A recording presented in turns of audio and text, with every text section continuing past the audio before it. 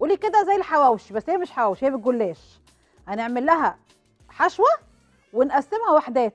يعني عندي جلاش لحمة مفرومة بصل فلفل سمنة جبنة قرفة وجنزبيل وملح وفلفل.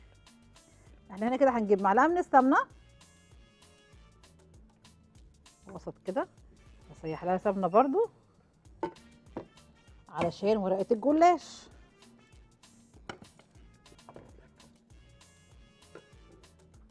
نجيب هنا بصلاية كبيرة مقطعة صغنن قوي أو مبشورة.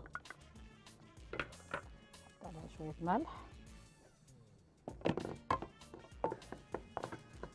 كده. هنزل عليها فلفل رومي يتشوح مع البصل.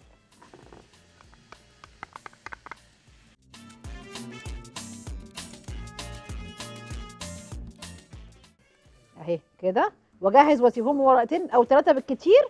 خليهم ثلاثة عشان تبقى إيه؟ تبقى فيها شوية ورق. لأن أنا الحادق بحب الورق فيه يبقى كتير شوية غير الحلو. الحلو لأ ممكن تبقى ورقة واحدة بس. كده؟ وأخلي الورقه اللي ما فيهاش سمنه من فوق. نزل بقى لحم مفرومة وأنزل توابلها. جنزبيل. وقرفة. وملح وفلفل. دايما القرفة أقل من الجنزبيل. نخلي بالنا إحنا بنعمل الكلام ده. وشويه فلفل أسود. ماشي. وأقلب بقى كده كويس جدا. آه أنا عندي هنا ثلاث ورقات من الجلاش. حطيت بين كل ورقة ورقة مسحه من السمنة وآخر ورقة معلهاش مسحه آه خدت هنا. اللحمة المفرومة عسقتها مع بصل وفلفل. عادي خالص. هاخد كده هنا جزء كده. وعليها جبنة. آه يا لأ. يعني ممكن نحط جبنة ممكن ما نحطش. وبعدين نطبقها كده.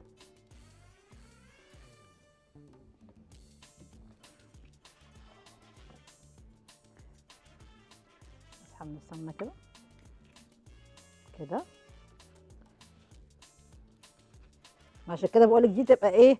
بتبقى شبه ال- الحواوشي شوية بس على تقيل بقى حبة. بين كل ورقة وورقة مسحه من السمنة فبتبقى إيه؟ بس حلوة جدا كساندوتش على بعضه.